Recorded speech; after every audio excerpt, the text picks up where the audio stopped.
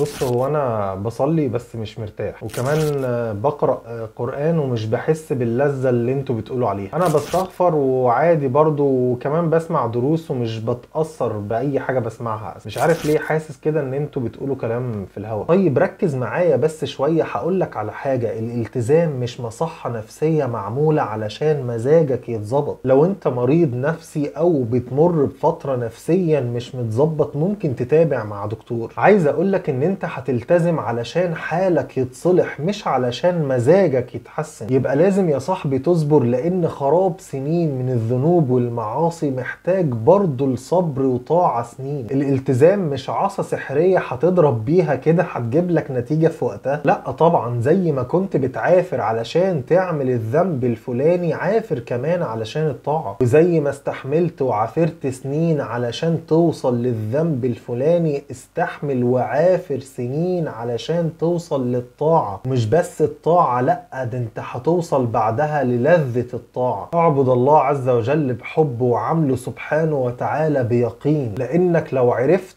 طريق ربنا سبحانه وتعالى هتعبده حق عبادته بكل مجهود انت اتخلقت بيه. ولو عملت ربنا سبحانه وتعالى بيقين هيعاملك بالمعجزات.